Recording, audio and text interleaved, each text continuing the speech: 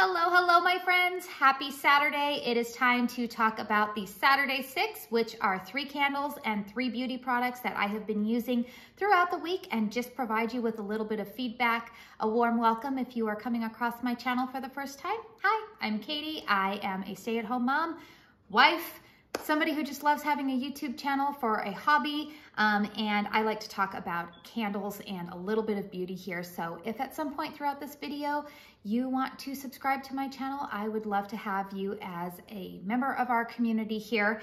And let's go ahead and get into this week's products. I got, I got some good ones here. So I've got some good ones and I've got one that's kind of like, eh, I don't know about that. So let's go ahead and start out with a candle this week. And I'm going to tell you right now, we are into the month of February. Yay, right? I have jokingly said that February is actually almost as busy for our family as the holiday season. And it is because in the early part of February, um, we have Super Bowl party coming up. We've got Valentine's Day, which we don't really do anything wild and crazy for it, but I, I do like to, you know, acknowledge my love for my husband and also my children for that little holiday. And our community that we live in has like, it's kind of like a Founders Day celebration where we have a carnival and a parade. And so those activities take up a lot of our time.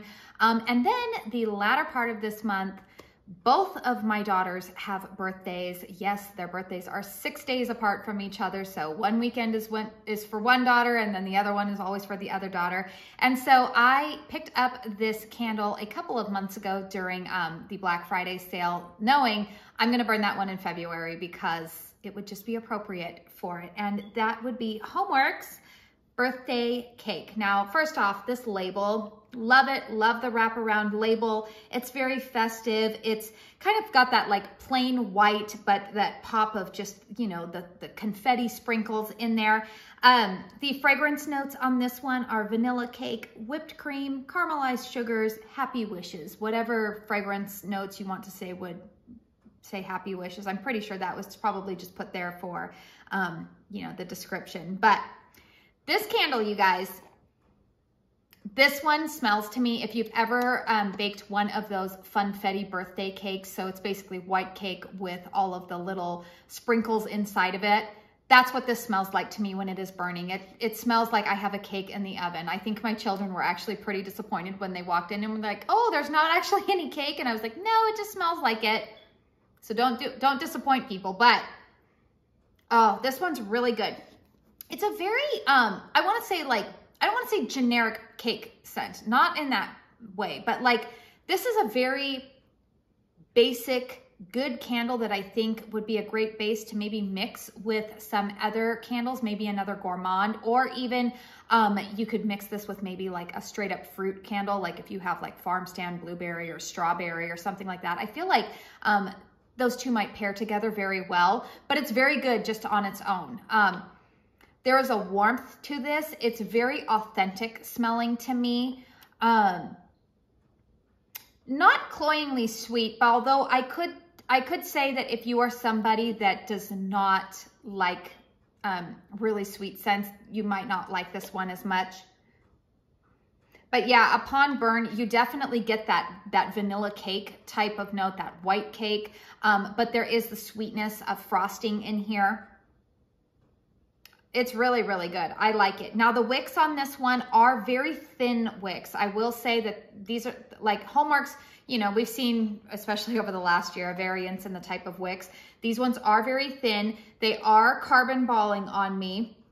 Um, and, you know, I, I'm, I'm tempted to trim these carbon balls off, but then I'm also a little bit scared because I don't want to get puny wick syndrome.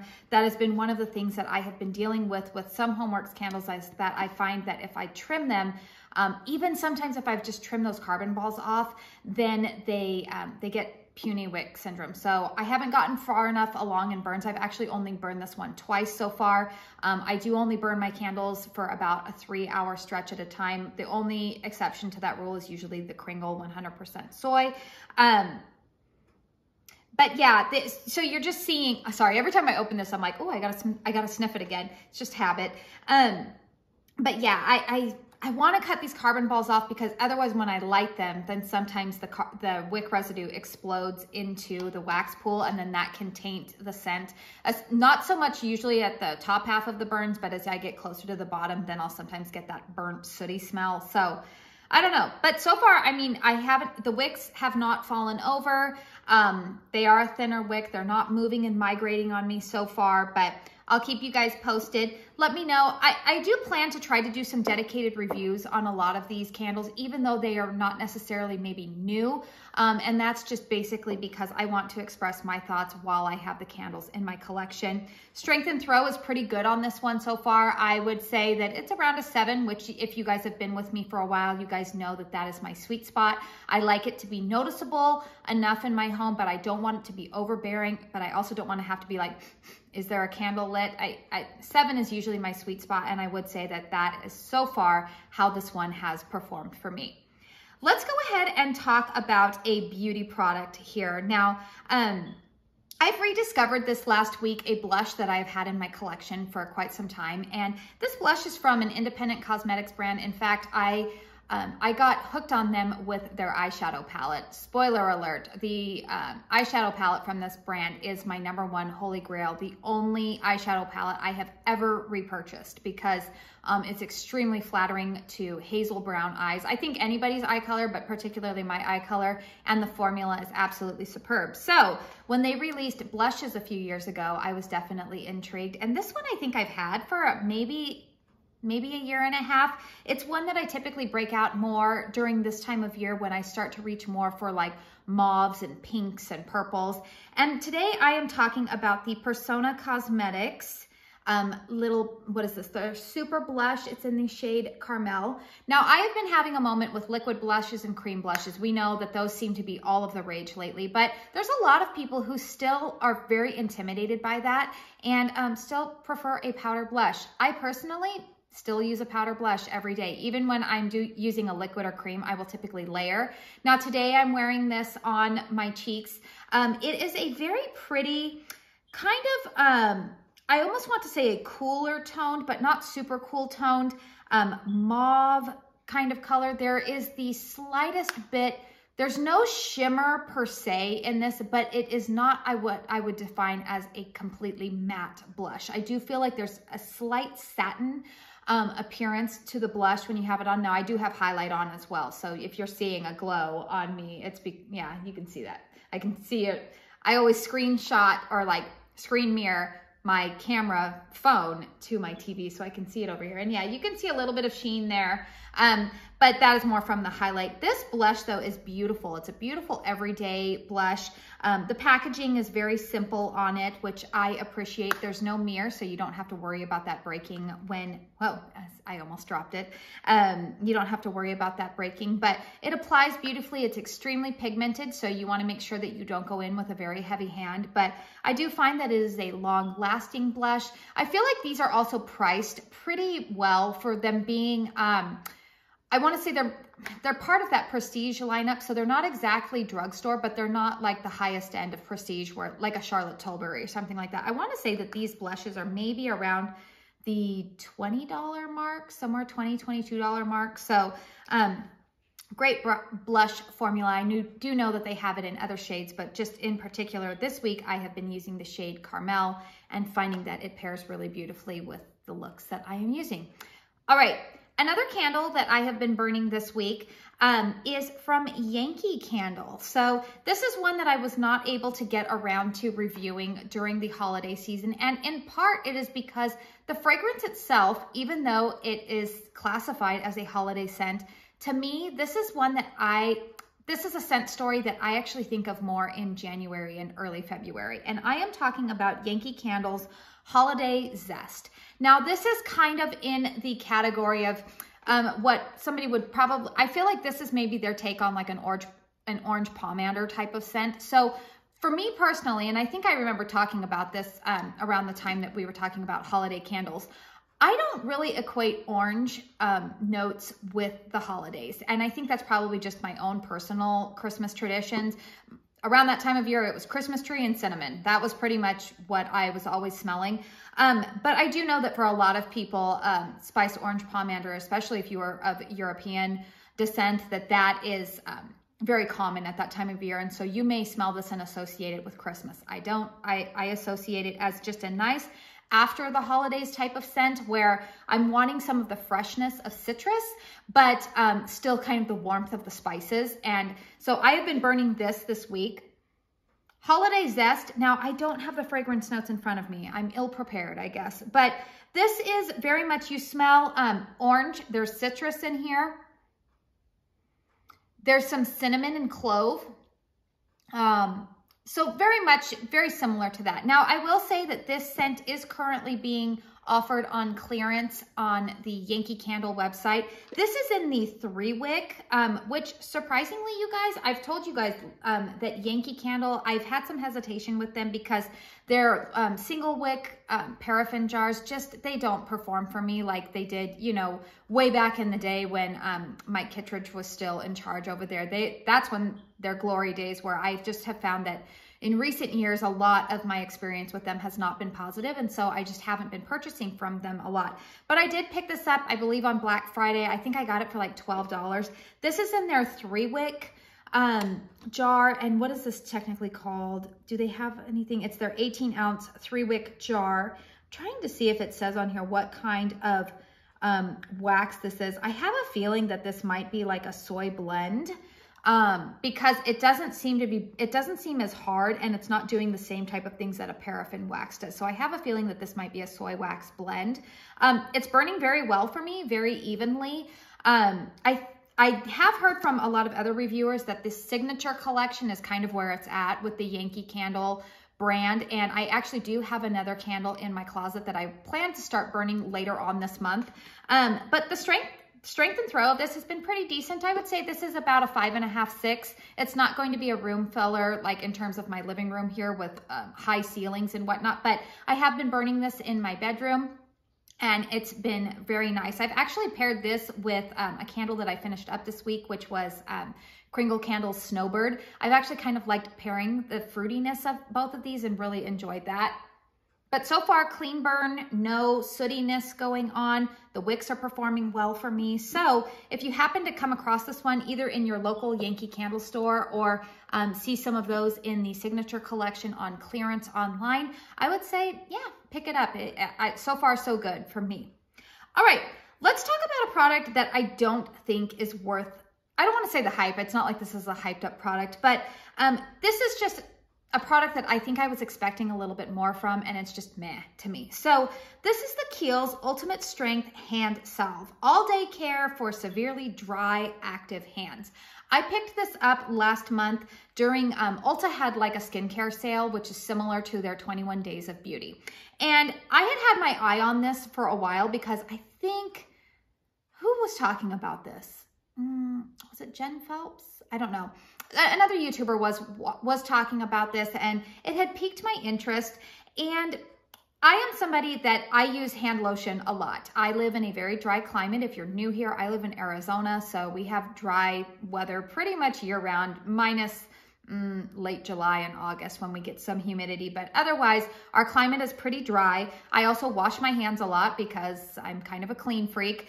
And um, yeah, so I'm constantly applying lotion and whatnot. Well, over the last month, I have noticed that my skin has been a little bit drier than it normally is. And um, I typically have normal to oily skin. Now this obviously, that's my face, but usually I'm always applying body lotion and whatnot, and I've just noticed that on the whole, my body has just been a little bit drier. I think that is partly um, due to the fact that I was sick right before Christmas, and I think my body is just trying to um, catch up after that. And then also, our heater has been kicking on a lot more because we have been, we have had like surprisingly like actual winter here in Arizona this year, which winter here is still spring to a lot of you guys, but um, temperatures, daytime highs like in the mid 50s, and that's cold for us here. So between the heat and me recovering from being sick a month ago, my skin is dried out. Went ahead and picked this up. Um, you guys, it's nothing to write home about, especially because this tube retails for $32. Now, again, I did not pick it up for that price. I got it for $16, which I feel like is more of a fair price for a good hand cream.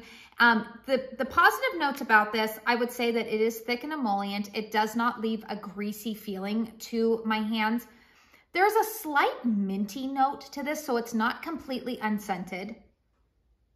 Yeah, a little bit of like eucalyptus type of scent to it which I don't know, I guess if I were to look in the ingredients, um, there might be some eucalyptus in here. But yeah, eucalyptus, I see leaf oil in there. So um, here's what I'm going to say. I don't think that this is a more hydrating product than like my typical Cetaphil body cream, which is typically what I will apply to my hands. And then my very favorite hand cream, if you are looking for a heavy duty fix your hands, is the Duke Cannon supply. It is their Bloody Knuckles hand hand cream, hand balm, something like that. It comes in like a hockey puck type of um, situation packaging. And I actually have found that I think I prefer that method the most, even though you are digging your hands in there, which I know a lot of people are grossed out by that. I like that then I can get to all of the product. It's a lot easier for me to make sure that like, hey, I'm not having, sometimes I have a hard time with these squeezy tubes because then like when you start to get to the bottom of the product, you're not getting as much. But Overall, I just don't find this to be like a hand savior. The Duke Cannon one is less expensive. I think you get five ounces. This is also five ounces, but you get one of those five ounce pucks for like 13 or $14. And again, this is five ounces for $32. And I just don't think that, I mean, I'll use it up, but I just don't think that it is worth the hype. And which is funny because I do like a lot of Kiehl's products. I like their facial cream um, and some of their other products, but that one, eh, it's all right. Another candle that I recently picked up and showed you in a haul and I got right to burning it is Kringle Candles Herbal Tea. Now, I believe that this was a new release last year, like last spring. I could be incorrect in that, but I do believe that this was released within the last two years. And um, the fragrance notes on this, I actually did research and find the fragrance notes on this one. The top notes are tea and lemon. The mid notes are jasmine and verbena, and the bottom notes are musk and sage. And oh man, you guys, this scent, very much tea and lemon to me. Now this this is more so a tea scent than, but there is that lemon note in here. It's not astringent. It's not like house cleaner lemon. It's not gourmand lemon. It's just fresh lemon with um, with like some black tea. That's what it smells like to me. It is absolutely beautiful. There was a scent at Bath and Body Works that a lot of people have compared this to, and I would I would agree with that assessment. Um, I want to say it was called London Tea or Tea Time or something like that. I believe it. I remember something with London being associated with it. This is a very, very nice tea scent. Now, I have been pairing this with Kringle's tea and cookies, which I am actually almost done burning. Um, and I have found that the combination of both of those has just lent such a pretty vibe to my, my house in the morning time. Um, I'm very like, I'm seasonal in what I like to burn, but I'm also very like, certain times of the day, I gravitate towards certain fragrances. And this one, sorry, you guys, my nose is itchy. All right, I'm sorry, guys. I had to itch my nose there. I said, like, you know, when you get an itch and you're like, oh my goodness, I can't, I can't stand it anymore. That's where I was at. Okay, but getting back to this candle, the um, strength and performance so far has been pretty good. Typical burn of the uh, Kringle soy, 100% soy formula. Beautiful burn, no sooting, Oh, the, the strength and throw has actually been pretty good on this one. Again, this one is in that sweet spot of about a seven for me. I've been burning it here in my living room and it does fill up the space very nicely. It's not cloying. It's not too strong. Absolutely lovely. In fact, I can see this one also being a lovely scent to burn, especially as we are heading into spring and even summertime. Um, this would remind me of like a lazy summer afternoon where you just want some sweet tea. Um, beautiful, Oh, beautiful. Love this fragrance. Um, would highly, highly recommend that one. Um, I will go ahead and plan to do a dedicated review, but like you guys know, I try to um, wait until I get to the halfway point before I give dedicated thoughts. All right, and the last beauty product that I have this week is one that I never really hear anybody talking about, but I was intrigued to pick this up. I've actually had it for almost two years. That's kind of crazy, I know. Um, I have had this product for almost two years, and I think I was intrigued to pick it up because I had seen Um, a couple of people that I follow, I want to say it was Lisa J Makeup and Kate from The Small Things, had tried another brand's product that was similar to this, and I didn't like the smell of that product. Um, it was the Bumble and Bumble had a had a product like this, but when I saw that R & Co, which is quickly becoming one of my favorite hair care lines, carried a similar product. I had picked it up and I have been using it. Now, I use it very specifically. So what am I talking about? This is the R & Co Spiritualized Dry Shampoo Mist. Now, um, like I had said, Bumble and Bumble has a product similar to this, but I can't stand the smell of it. It's too like powdery, perfumey for me. I, I didn't like it and I sent it back. Um, but this, it's a similar type of product. So how do I use it? It is dry shampoo. However, it is what I use when I have gotten really sweaty on my head, which some of you guys are like, ew, that's gross, Katie, then just go ahead and wash your hair. Well, typically I only wash my hair twice a week. Um, and it's mainly because I don't want to take the time to recurl it, restyle it. Um, it. It's just, it's a pain in the rear. So um, I have been working out a little bit more, you know, getting back into the new year. I'm still sticking with it. And I have found that some of my workouts, I sweat a little bit more than others. And on the days when I sweat, uh, when I've got a little bit of that scalp sweat going on, but not necessarily like I'm not dripping in sweat gross where I feel the need to completely wash my hair, I have used this and what I do is I spritz it, you know, at the roots. I also, you know, get some of that sweat underneath here by the nape of my neck, spray it in there. And then what I will do is I will, um, if I've done like a workout in the evening, I will typically just um, spray it in, put my shower cap on, wash my body, go to bed and let it air dry. Um, I obviously remove the shower cap when I get out of the shower. I let it air dry or if I have somewhere that I need to be and I need to get ready for my day, I've worked out in the morning, I apply this and then um, I might just run the blow dryer through just for like a minute, minute and a half, and it dries out the roots, but it just, it restores my roots to give some volume, some a little bit of texture to it, but it doesn't weigh my roots down. Obviously, you don't want to use too much of this because too much of a good thing will weigh it down especially with dry shampoo. Um, but I've actually really, really liked this product. It just kind of brings life back to the roots of my hair. Um, I am somebody that loves full voluminous hair. Um, my hair is medium, medium thickness, but it's very fine. And so I usually have to have a lot of products to help me out with that. But if you are looking for a product maybe to throw into a gym bag, um, and you, or you've been hesitant to use a dry shampoo on like sweaty hair that, cause that's kind of gross, um, give this product a try. I really, really like it. Let me know what is a product that you were using this week that you have either decided, ugh, this is not worth the money or, oh my goodness, I love this product. I am always curious to know. I just want to say thank you so much for spending your time here with me today. Please don't forget to hit that thumbs up video, thumbs up button if you liked this video because it really does help me out, consider subscribing again if you are not already subscribed. I would love for that to happen. And yes, until my next one, you guys all know the drill. I hope you all go out and have a very blessed day. Bye.